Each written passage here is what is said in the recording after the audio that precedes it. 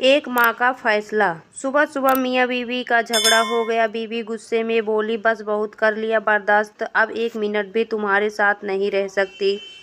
पति भी गुस्से में था। बोला, मैं भी तुम्हें झेलते झेलते तंग आ चुका हूँ। पति गुस्से में ही दफ्तर चले गए।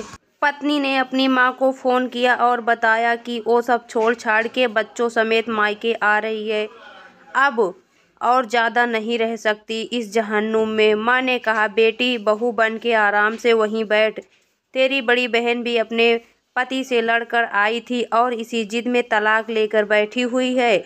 अब तूने वही ड्रामा शुरू कर दिया है। खबरदार जो तूने इधर कदम भी रखा तो सुलह कर ले पति से। वो इतना बुरा भी नहीं है। माँ ने लाल झंडी दिखाई तो बेटी के होश ठिकाने आ गए और वो फूट फूट कर रो दी जब रोकर थकी तो दिल हल्का हो चुका था। पति के साथ लड़ाई का सीन सोचा तो अपनी खुद की भी काफ़ी गलतियाँ नज़र आई। मुँह हाथ धोकर फ्रेश हुई और पति के पसंद की डिश बनाना शुरू कर दी और साथ में स्पेशल खीर भी बना ली। सोचा कि शाम को पति से माफ़ी मांग लूँगी, अपना घर फिर से अपना ही होता है। पति शाम को जब घर आया तो पत्नी ने उसका अच्छे से स्वागत किया। जैसे सुबह कुछ हुआ ही ना हो, पति को भी हैरत हुई खाना खाने के बाद।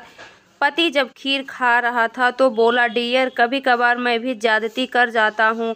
तुम दिल पर मत लिया करो। इंसान हूँ, गुस्सा आ ही जाता है। पति पत्नी का शुक्रिया अदा कर रहा था और पत्नी दिल ही दिल अपनी माँ को दुआएँ दे रही थी, जिसकी शक्ति ने उसको अपना फैसला बदलने पर मजबूर किया था।